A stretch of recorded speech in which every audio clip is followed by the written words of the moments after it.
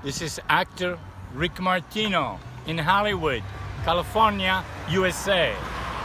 These are my flyers and this is my pet pigeon and these over here are my flyers.